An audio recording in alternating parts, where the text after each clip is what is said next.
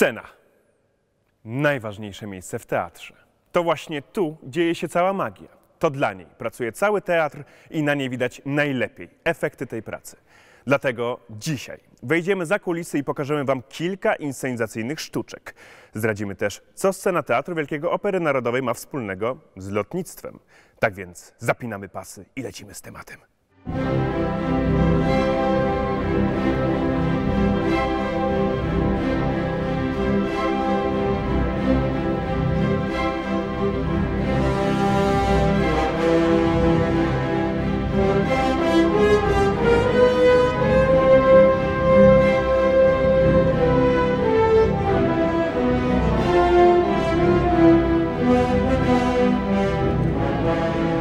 Musicie wiedzieć, że aż do początku XXI wieku scena Opery Narodowej była największą sceną operową świata. W rankingu wielkości wyprzedził ją później Teatr Narodowy w Pekinie. Nasza, warszawska, ma wielkość 1150 m2, czyli zmieściłby się na niej z powodzeniem spory samolot pasażerski, a nawet dwa, jeśli by postawić jeden na drugim. Jeszcze żaden reżyser nie padł na ten genialny pomysł, żeby go tu umieścić, ale łódź podwodną już mieliśmy.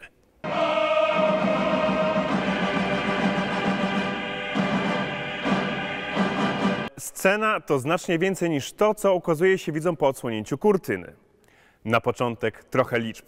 Razem z zasceniem i kieszeniami bocznymi scena zajmuje powierzchnię 2,5 tysiąca metrów kwadratowych, czyli dwa razy większą niż można zaobserwować z widowni.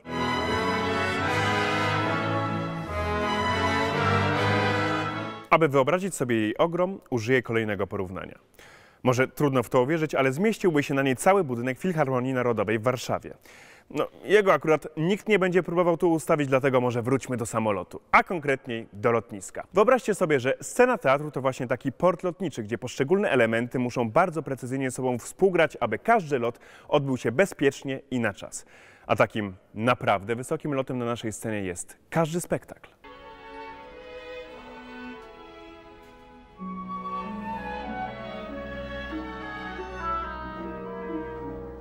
Skoro była mowa o wielkości, muszę też wspomnieć o wysokości sceny.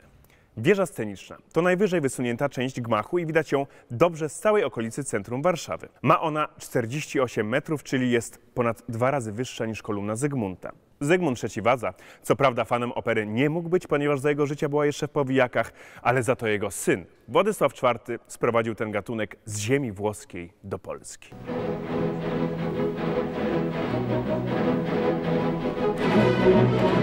Zdradzę Wam pewną tajemnicę. Ciekawostkę związaną z pracą na scenie, a konkretniej z szybkim i precyzyjnym komunikowaniem się. Można powiedzieć, że scena ma swoją stronę lewą i prawą, czy wschodnią i zachodnią, ale to trochę mylące, bo przecież zależy od tego, czy siedzi się na widowni, czy występuje na scenie. Dlatego wymyślony został inny system nazewnictwa. Patrząc z widowni, strona lewa to ta równoległa do ulicy Moliera, prawa do wierzbowej.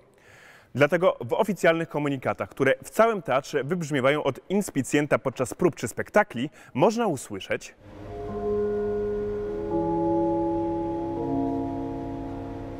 Panią garderobianą Madame Butterfly proszę na scenę główną do szybkiej przebiórki od strony Moliera. Co oznacza, że ktoś jest wołany od tej bardziej popularnej strony, lewej. Co ciekawe, do samolotu właściwie też się wchodzi od tej strony. System Moliera wierzbowa jest na tyle wygodny, że jest używany nawet podczas tournée, podróży naszego teatru do innych krajów. To tak jakby na całym świecie. W Dubaju, Montrealu czy Petersburgu znajdowały się te same ulice wokół teatru, co w Warszawie. Dobrze, dobrze,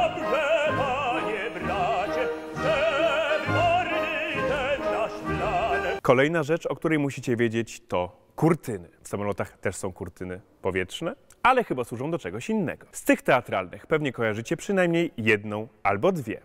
Najbardziej znana to ta głęboko czerwona, wagnerowska. Jak sama nazwa wskazuje, wymyślił ją sam Wagner.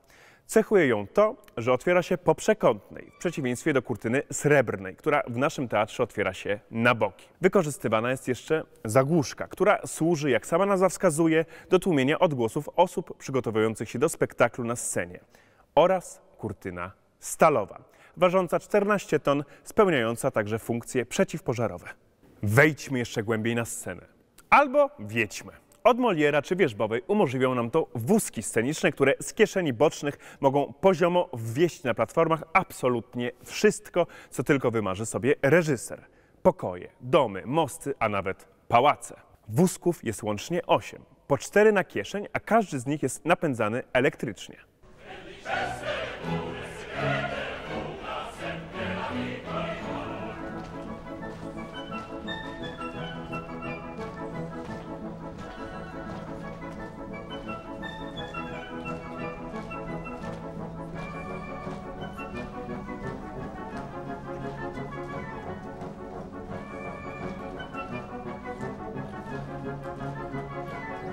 Innym trikiem inscenizacyjnym jest poruszanie się w pionie. I do tego właśnie służą zapadnie. Scena ma konstrukcję szufladową.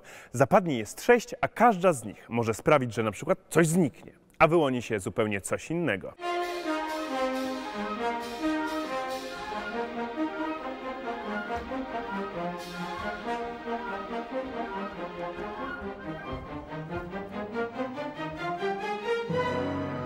Co ciekawe, orkiestron, tak zwana fosa, czyli miejsce, w którym podczas spektaklu znajduje się orkiestra, również jest zapadnią. A to sprawia, że cała orkiestra, nie ruszając się z wygodnych miejsc, może wjeżdżać na scenę i nagle z niej znikać bez niepotrzebnej straty czasu.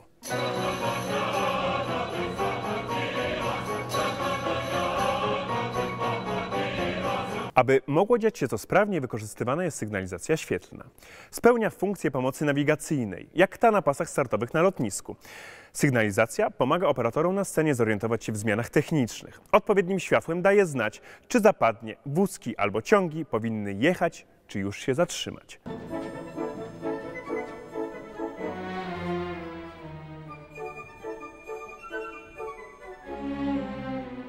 Zapadnie działają dzięki systemowi hydraulicznemu, co oznacza, że żeby się przemieszczały, 9,5 metra pod pokładem, czyli sceną, ukryte jest 8 zbiorników, a w każdym z nich 11 tysięcy litrów pompowanej wody i powietrza o ciśnieniu 90 atmosfer.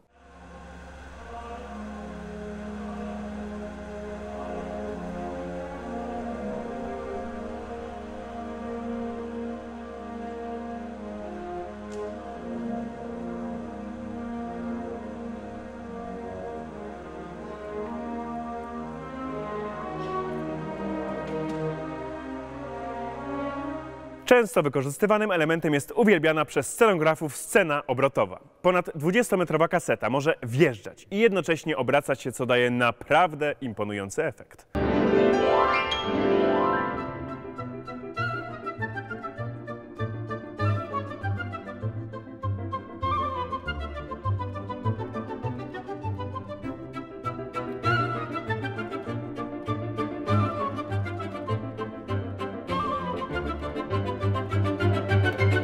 A żeby dobrze wszystko było widać, niezbędne są mosty świetlne, gdzie znajdują się reflektory. Wiszą zaraz obok szczankietów, czyli długich metalowych prętów, na których podwiesza się dekoracje. Między innymi wielkie płótna horyzontów. Sztankietów w naszym teatrze jest ponad 100, a jeden może unieść aż do 600 kg, czyli tyle, ile waży przeżywający swój renesans dzięki Tomowi Hanksowi Fiat 126P, zwany maluchem. I tu podczas lotu trzeba szczególnie uważać na warunki atmosferyczne, bo ze sztankietów może efektownie spadać to, co widzów zadziwia w czasie przedstawień. Deszcz i śnieg. Deszcz to po prostu drobne kawałki pleksji umieszczone w worku z dziurami i podwieszone na dwóch sztankietach. Ale bywało i tak, że z 13 deszczownic na scenie gęsto lała się prawdziwa woda.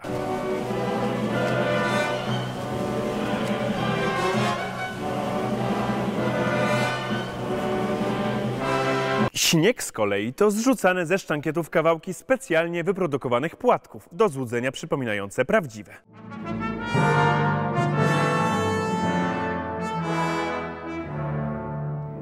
Na tyłach sceny znajdują się dwa magazyny, gdzie przechowywane są na stałe elementy scenograficzne.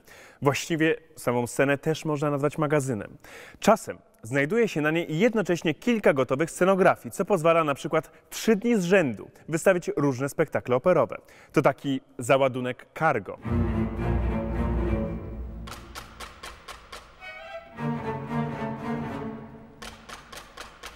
A żeby poszczególne, ogromne elementy scenografii dowieść z pracowni i zmontować na scenie, niezbędny jest specjalnie opracowany system wind.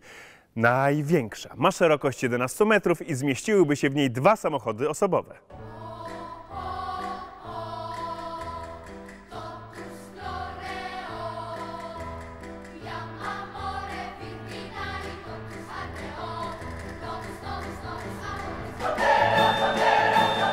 Większe wrażenie niż konie mechaniczne robią jednak te żywe, które na naszej scenie też czasem grywają, na przykład w spektaklu Nabucco. W końcu również pod pokładem oprócz bagaży, poczty i paczek przewożone są także inne ładunki, takie jak żywe zwierzęta.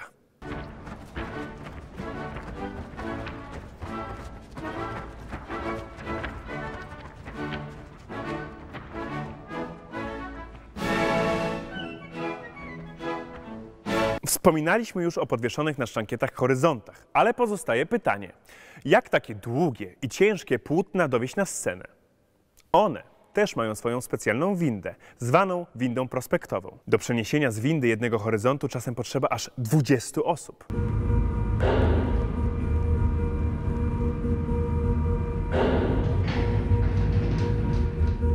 W 1965, kiedy teatr otwarto po wojennych zniszczeniach, miał on najnowocześniejszą scenę na świecie, co czyni nas pionierami w tej dziedzinie. Teraz urządzenia na właściwie wszystkich scenach sterowane są komputerowo. Nasza scena jest jedyną na świecie ze wspomnianym systemem hydraulicznym, który od otwarcia działa nieprzerwanie do dziś.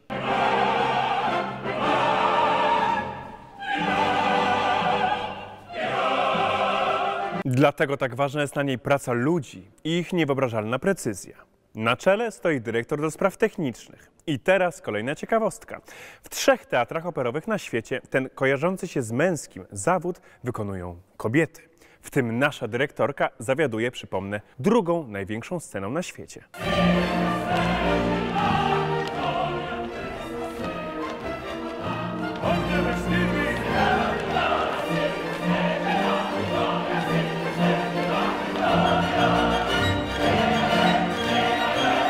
Można by ją nazwać pilotką tego rejsu. Taką osobą byłby też reżyser czy dyrygent, który wraz z silnikiem orkiestrą napędza lot, czyli przebieg spektaklu.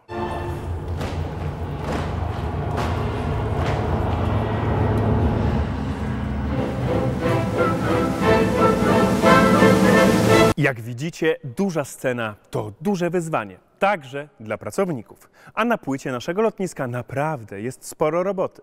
Przy jednym rejsie spektaklu pracuje do 400 osób. Oprócz śpiewaków czy tancerzy, codziennie pojawia się na niej szereg osób o wyspecjalizowanych zawodach. Montażyści, rekwizytorzy, tapicerzy, mechanicy, napędowcy, elektrycy, realizatorzy dźwięku oraz zespół nowych technologii audiowizualnych, a także garderobiani, charakteryzatorzy, a nawet strażacy i pielęgniarki. Tak na wszelki wypadek. Więc kiedy pasażer, widz, pije we foyer wino podczas przerwy w spektaklu, omawiając przeżycia związane z tym, co przed chwilą ujrzał, w tym samym czasie na scenie potrafią występować prawdziwe turbulencje. W olbrzymim stresie i pod presją czasu przy zmianie dekoracji pracuje czasem aż 80 osób.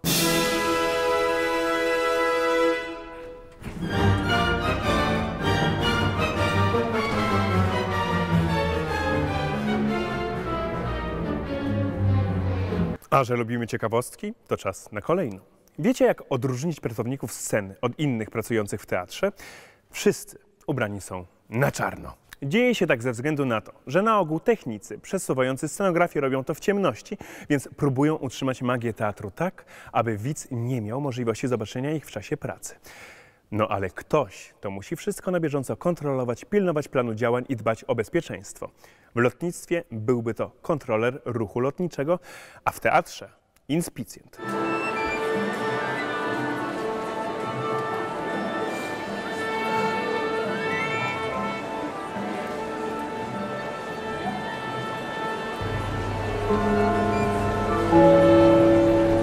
Reżyser ma wizję, dyrygent ma za zadanie przygotować jak najlepiej warstwę muzyczną, a inspicjent, on to musi wszystko połączyć i otworzyć zgodnie z pomysłami tych dwóch wymienionych.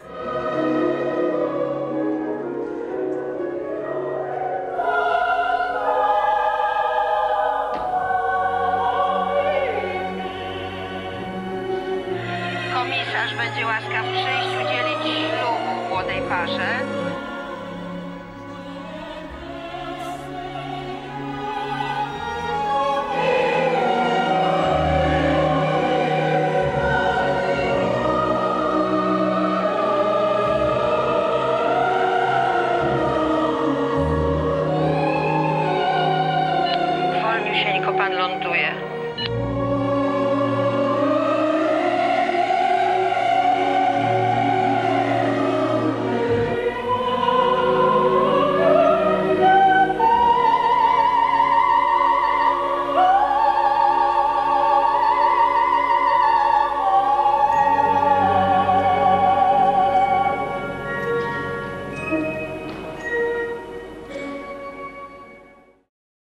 Jeśli boicie się latać lub macie lęk wysokości, pamiętajcie.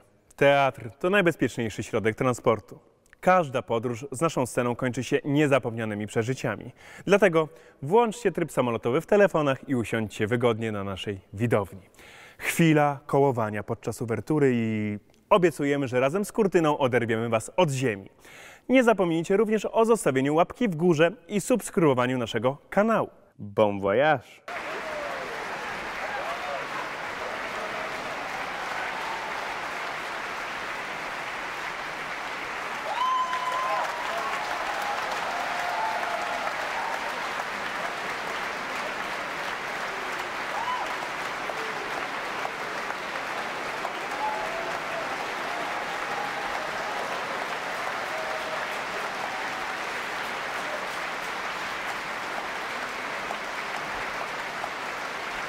Proszę Państwa, na scenie głównej zakończyliśmy spektakl.